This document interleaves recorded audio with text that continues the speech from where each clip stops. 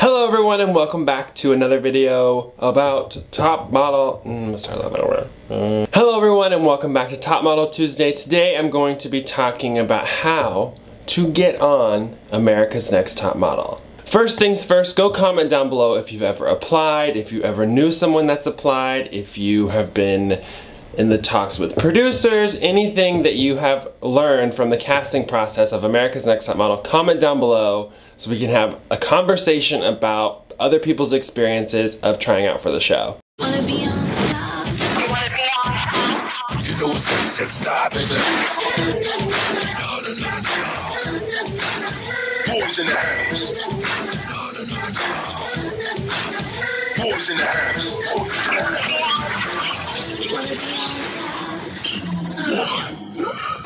First things first, I want to talk a little bit about how I got on the show. I haven't really said how I got on the show, but I get asked this question more than any other question about America's Next Top Model besides how is Tyra.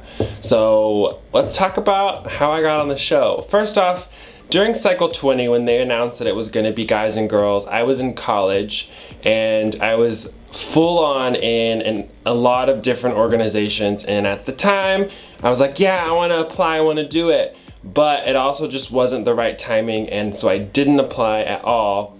And I let the opportunity go past me, had great year in college. And then after Cycle 20, I watched the season, fell in love with some of the guys and the girls. The season was really good.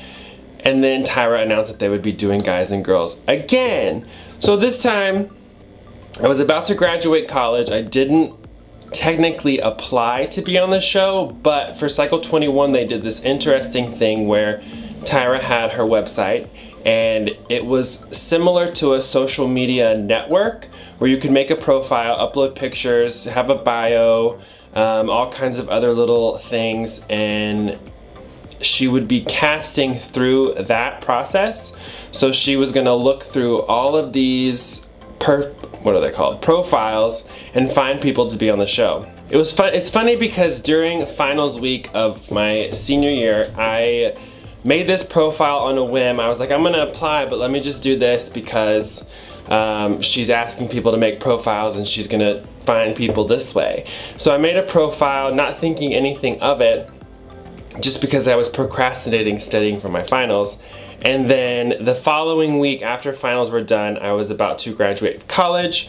Graduated college and then two days later I got an email from one of the casting producers that they wanted more information, they wanted me to make a video, they wanted me to send them all my stats, they wanted to do a Skype interview. So I made a video. Looking back on that video now, it's very interesting to see myself in that regard and then being on it's just weird. It's just really weird. I would have done a lot of things different knowing what I know now and making that video just because it was just all over the place but anyways so I made the video sent them all my information and then I did my first Skype interview with some of the producers.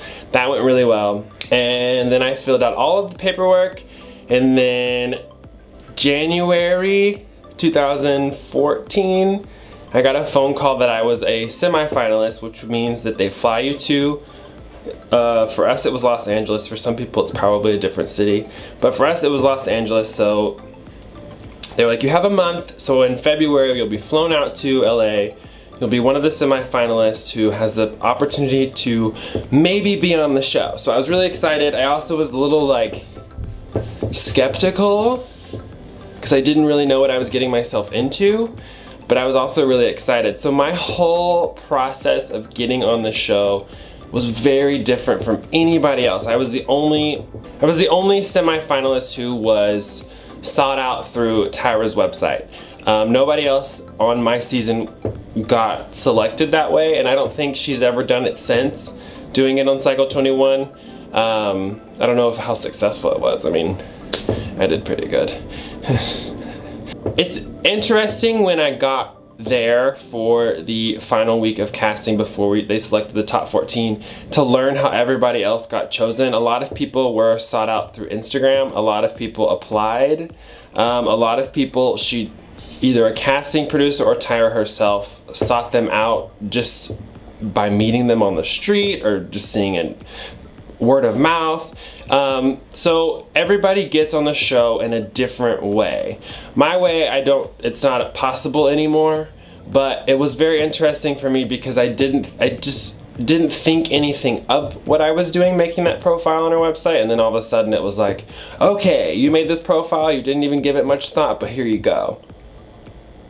And it's funny because the photos that I uploaded before applying for the show, I had only done one modeling photo shoot ever in my life. And it was about six months prior to applying for the show and it was for a friend, it was for a new magazine, it was just a photo shoot. So I uploaded, I think like three or four pictures from this photo shoot and that's all they had to base myself off of, which I thought was kind of cool, I guess. I'd never modeled before, and then they like, you got potential, boo.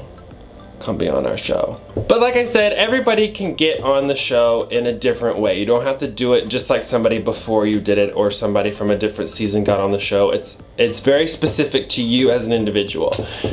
So now let's talk about how you can be on America's Next Top Model. They're already filming cycle 24, but if it's renewed for cycle 25, which it probably will be since Tyra's back, I think the ratings will be really good. Um, let's talk about how you can get on the show or any reality show in general. First and foremost, you have to remember that it's a reality show.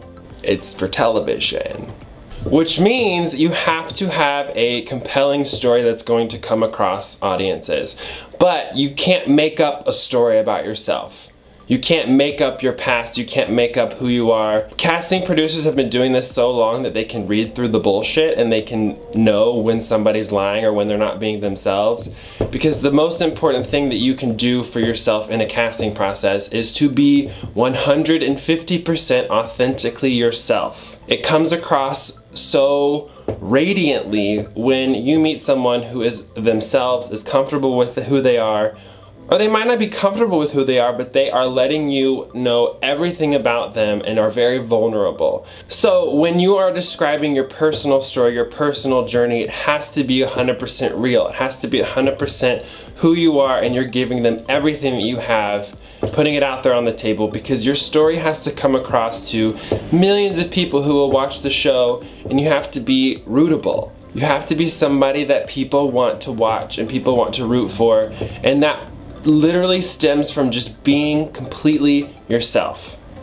That's the biggest piece of the puzzle. Next thing you probably should do before applying is to practice. Anytime you're trying to go into a profession, people want to see that you have potential or that you have tried to do it or that you are trying to do it.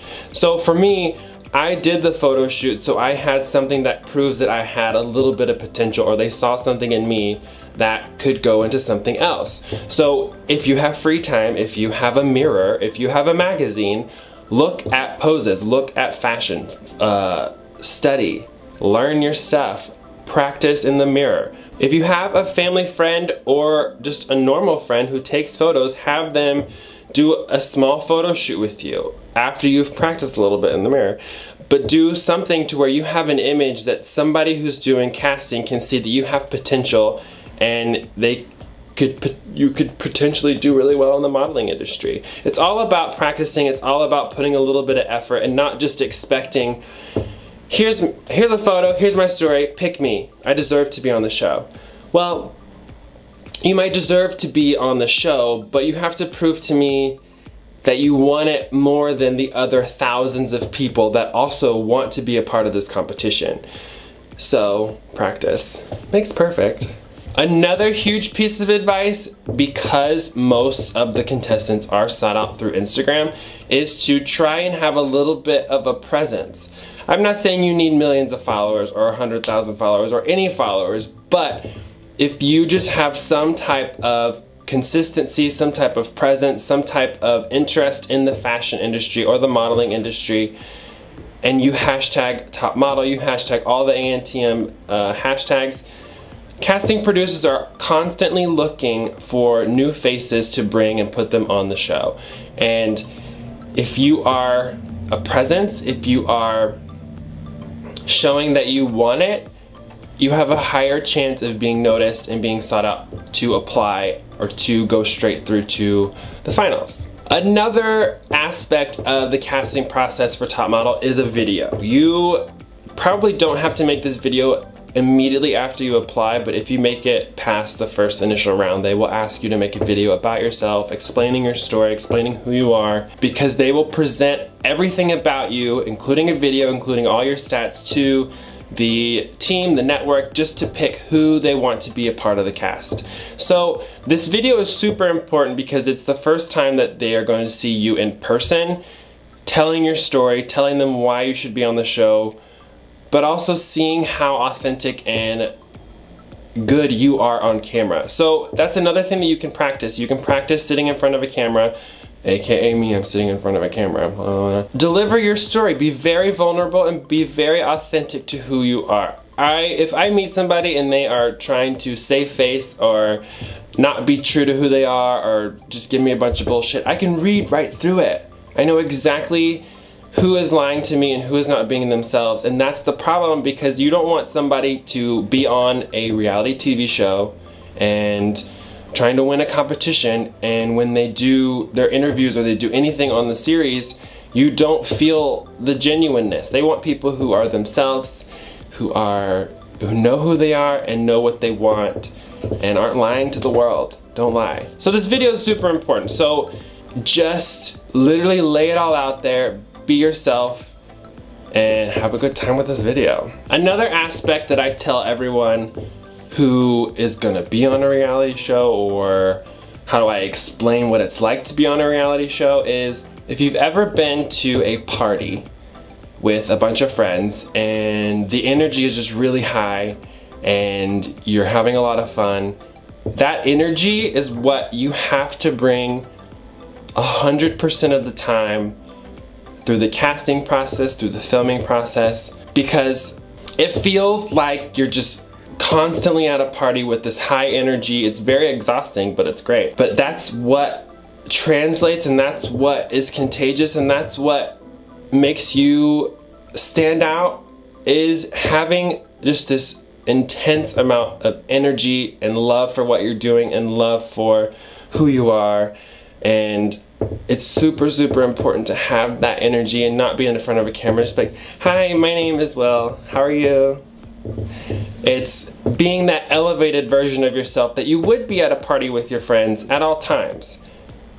Because nobody wants to see somebody that's like boring Miss America pageant, world peace. Mm, you have to have that energy when you're doing any part of the casting process. Another thing that's really, really, really important to have in mind when you're doing the casting process or you're trying to get on the show or you're trying to get on any reality show is patience sometimes you may not fit what they're looking for. Reality TV is very interesting because they are trying to fit a mold for the series. So there are different character types, there are different personality traits that they're trying to piece together to make an amazing cast, an amazing group of competitors to compete and win the show. So sometimes you may not fit a specific season or you may not fit a theme for a season. You may also just not fit what they're looking for at that moment, but they might keep you in mind for future seasons. It's all about patience. If you get told no, never ever stop. If it's something that you really, really, really want, you can't give up and say, I don't want to do it anymore because they told me no once. Fun fact, Raelia applied five times before she got on her sixth time. I think that's right. It definitely was at least five times. She applied five times to be on the show. And then on the sixth time, they said yes. She may not have fit everything that they were doing. If you look back, every season was different. There was an All-Stars. There was America versus uh, British Invasion season. There was college season. There was the first guy and girl season. So you might not fit what they're looking for for that specific season. So it's all about patience and persistence. If if I apply for America's Next Top Model and the first time they tell me no and I don't apply again, they're not gonna reach out to me. I'm not gonna be remembered. But if you are continually applying five, six, seven times, hopefully it's not that many, but if I see your face five years in a row, I'm going to remember you and I'm going to have a name to a face. I'm going to know more about you than any of the other contestants. So I can fight for you to be on the show more so that I can fight for somebody who's only applied once. So don't give up. It's all about patience and persistence and not getting hurt if you don't get selected. It's all about fitting a puzzle together to make the competition what it is. What else? My personal journey of getting on America's Next Top Model is very different from everybody else and everybody that was on my season that I'm aware of how they got on the show. It's very different from each other. So the way you get on the show may not be how you think you're gonna get on the show. The way that somebody else gets on the show may not be the way that you got on the show. So it's gonna be very specific to who you are. If you are doing all the elements and trying to find every avenue to get your name out there, to get yourself noticed, to get here I am, pick me in every single avenue, you have a higher chance of being noticed. Of someone saying, okay, I've seen this girl here, and then somebody else saying, I saw them over there too, and then another producer saying, oh, I saw them there. That's three people fighting for you who know you, who have seen you, who see potential in you, and can push for you to be part of the cast. So don't just do, okay, I'm gonna apply, send in your application, and then stop and say whatever happens, happens. Because how many people in this world have ever just filled out an application, sent it in, and been like, okay, I'll get it, I know I will. That's not how the world works. The biggest and the best piece of advice if you are trying to get on the show or you're trying to get on any reality show is to be yourself. Some people have this misconception that they have to be somebody else to fit what they're looking for, but that's not true.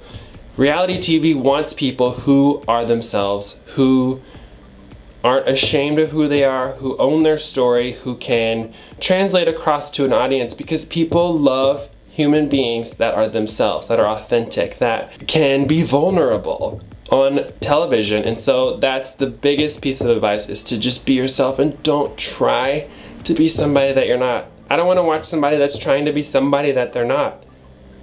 Do you? No, I don't. I really don't want to do that. Like I said earlier, make sure you comment down below if you've ever applied, if you've ever known somebody that's applied, if you've known somebody that's been on the show, just so we can have a little bit more of a conversation about how other people's experiences trying out for the show have been. Maybe it can help you get on the show for cycle 25. If it happens, cross your fingers. Thank you so much for watching this video. I will see you next Tuesday with an all another Top Model Tuesday. Bye.